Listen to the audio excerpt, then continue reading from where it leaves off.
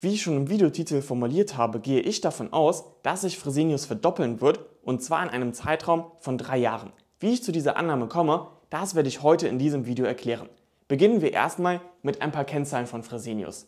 Die Aktie notiert gerade bei 33,99 Euro und die Marktkapitalisierung liegt bei 19 Milliarden Euro. Das KGV liegt gerade bei 11,1, während es historisch gesehen allerdings eher so im Durchschnitt bei 18 gelegen hat. Also historisch gesehen ist hier schon mal eine deutliche Unterbewertung festzustellen. Dasselbe gilt auch fürs KUV. Das liegt gerade bei 0,55, während es historisch gesehen eher so bei 0,8 gelegen hat. Hierzu muss man allerdings auch sagen, dass Fresenius durch die ganzen Übernahmen aus der Vergangenheit mittlerweile wirklich sehr hoch verschuldet ist. Fresenius hat eine Nettoverschuldung von rund 24 Milliarden Euro. Das entspricht dem 5,5-fachen EBIT. Also man bräuchte alleine 5,5 Jahre, nur um die Schulden wieder mit den Gewinnen zurückzubezahlen. Das ist schon eine ganze Menge. Ab dem vierfachen EBIT, da spricht man von einer erhöhten Verschuldung, da muss man dann immer schon aufpassen. Also die Schuldensituation, die ist hier schon etwas angespannt. Jetzt kommen wir zu einem etwas erfreulicheren Punkt bei Fresenius, nämlich der Dividende. Fresenius ist Deutschlands einziger Dividendenaristokrat. Von einem Dividendenaristokraten spricht man, wenn ein Unternehmen es schafft, mindestens 25 Jahre in Folge die Dividende Jahr für Jahr immer und immer wieder zu erhöhen. Fresenius macht das jetzt schon seit 27 Jahren. Sie zahlen eine Dividende im Moment von 88 Cent pro Aktie. Das entspricht momentan einer Dividendenrendite von 2,6 Prozent. Das ist ja schon recht ordentlich. Wenn man das jetzt mal mit einem Welt-ETF oder so vergleicht, was man da rausbekommt, da kann man sich bei 2,6 Prozent wirklich nicht beschweren.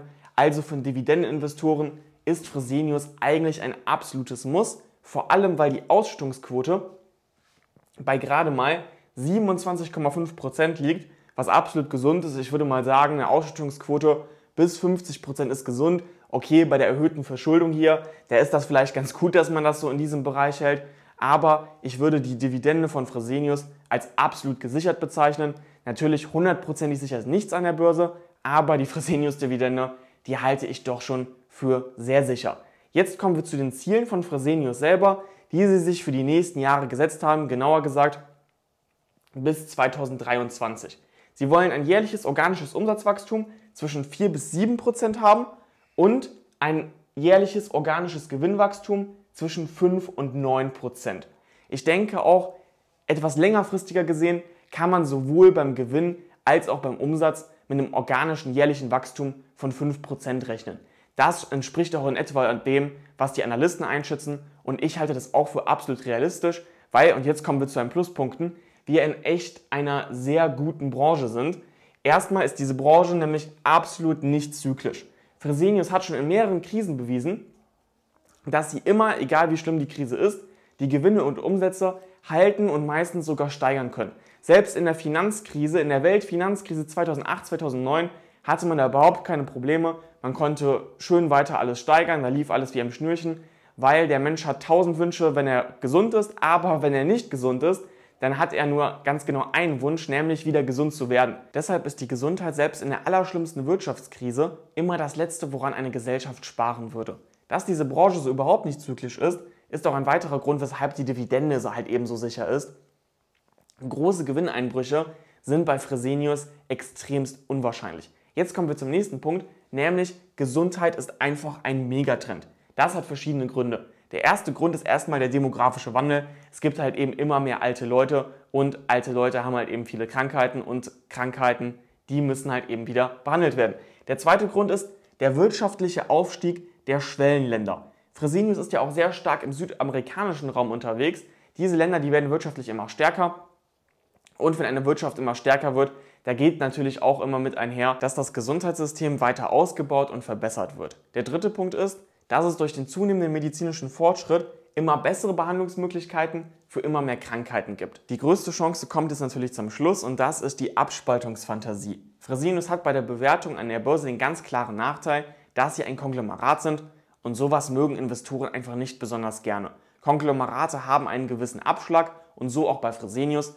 Die Bewertung ist einfach saumäßig günstig und ich bin mir sicher, hier würden sehr große Werte gehoben werden, wenn man zum Beispiel Helios ausgliedern würde, die Sparte Helios, oder wenn man Medical Care komplett verkaufen würde.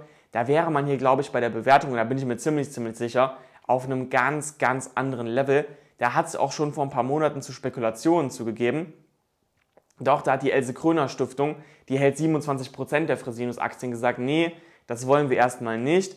Allerdings stand die Fresenius-Aktie dann noch deutlich höher, bei deutlich über 40 Euro, mittlerweile nur noch bei 34 Euro. Ich könnte mir vorstellen, dass auch die Stiftung dann mal irgendwann ins Grübeln kommt und sich denkt, okay, vielleicht wäre es hier mal wirklich Zeit, dass Fresenius die gerechte Bewertung bekommt und man den Konzern halt eben aufspaltet. Alleine schon, wenn auch nur ernsthafte und seriöse Spekulationen über eine Aufspaltung zustande kommen würden, gehe ich davon aus, dass die Aktie mindestens 30% steigen würde.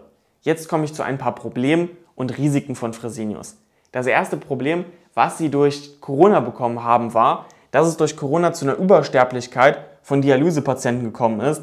Und wenn sie sterben, dann brauchen sie natürlich keine Dialyse mehr. Ein Risiko, das man bei einem Krankenhausbetreiber wie Fresenius natürlich immer hat, sind politische Eingriffe. Ich glaube jedoch, dass Corona hier sogar ganz hilfreich gewesen ist, weil hier hat die Politik ja ganz eindeutig gesehen, dass es absolut kontraproduktiv ist, das Gesundheitssystem kaputt zu sparen und man jetzt wirklich nicht auf den letzten Cent achten sollte.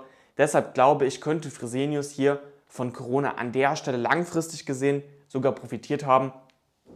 Und über politische Eingriffe mache ich mir deshalb keine allzu großen Sorgen bei der Aktie.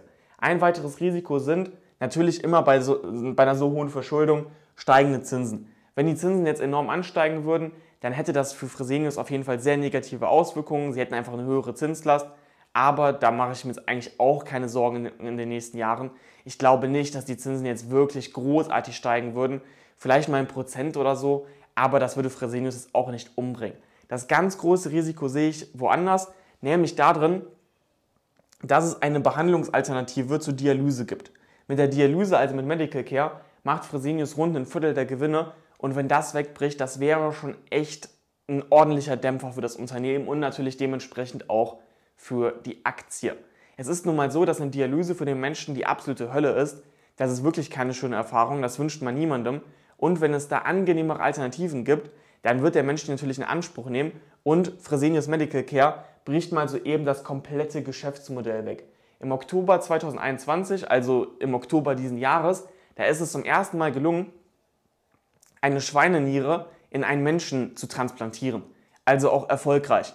Und da macht man sich natürlich schon Gedanken, wenn das vielleicht irgendwann dann ganz normal wird, dass das mit Schweinenieren geht und man überhaupt keine Dialyse mehr braucht oder meinetwegen mit irgendwelchen anderen Behandlungsmethoden, die angenehmer sind als eine Dialyse, dann wird es ganz schnell eng für Medical Care.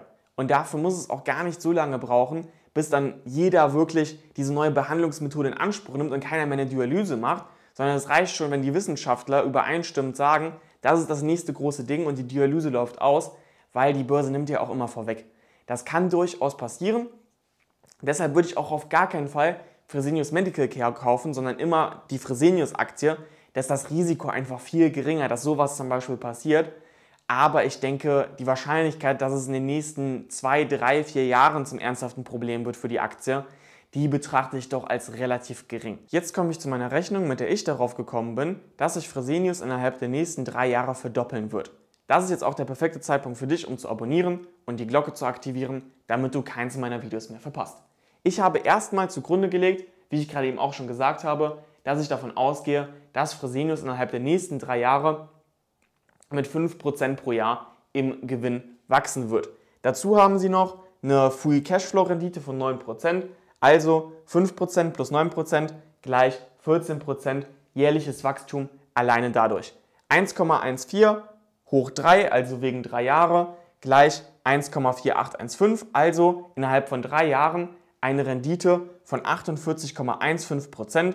Das entspricht dann einem Aktienkurs von 50,36 Euro, wenn man annimmt, dass die Bewertung die gleiche bleibt. Das glaube ich allerdings nicht. Ich finde das KGV von 11,1 zu gering. Ich denke, die Börse wird innerhalb der nächsten drei Jahre diese Unterbewertung erkennen und Fresenius ein KGV von 15 zugestehen und wenn wir mit einem KGV von 15 rechnen, da kommen wir direkt auf ganz andere Zahlen.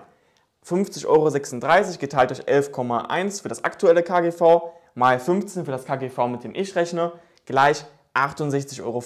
Und das entspricht dann wirklich einer Verdopplung, ziemlich genau sogar 100% Rendite oder anders gesagt 26% durchschnittlich pro Jahr. Damit kalkuliere ich. Ich halte das für absolut realistisch und auch nicht für, äh, für zu hoch gegriffen. Schreib mir gerne in die Kommentare, was du von meiner Rechnung hältst oder generell von der Firma, welche Chancen, welche Risiken du siehst. Unbedingt abonnieren, da würde ich mich sehr darüber freuen und natürlich auch liken. Vielen Dank fürs Zuschauen, bis zum nächsten Mal.